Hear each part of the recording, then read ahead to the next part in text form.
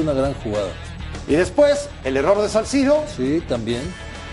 el zurdazo, el error de Corona. Sí, porque la tiene en las manos. Sí, le, o sea, era o para tomarla o para escupirla. mirá, Ra- Raúl que fue arquero me decía mientras veíamos el partido, es para escupirla. Hacia Sí, para mandarle un Para costado a asegurarse. tiro de Te tienes que mandar a tiro de esquina. Sí, porque, porque está lloviendo. Y luego, Un Diego error de Reyes, Reyes. Ataca mide mal. mal el bote de la pelota y le permite a Carlos Cosli, Gran definición, ¿eh? golazo, Golazo, golazo, ¿eh? golazo, hacer el tercero. Increíble, ahí está el error de Diego Reyes y cómo Costly pega este zurdazo pegado al palo. México incluso tuvo algunas ocasiones después, hasta estrelló una pelota en el poste, en el Sí, travesaño de Giovanni Gio. Dos Santos. Es esta, Aquí. el remate de cabeza de Giovanni. Y luego Honduras perdona a México de meterle el tercero. El tercero. Una jugada bárbara hicieron. Muy buena jugada. Bárbara hicieron.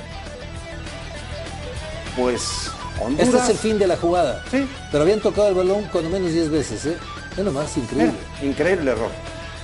Eso era el tres goles por uno. Y Honduras se lo perdonaban.